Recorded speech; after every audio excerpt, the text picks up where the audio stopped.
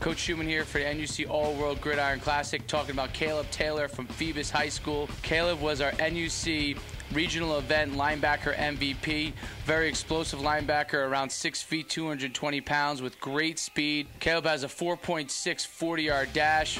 He's able to cover the field from east to west and north and south. He gets downhill and make plays in the backfield.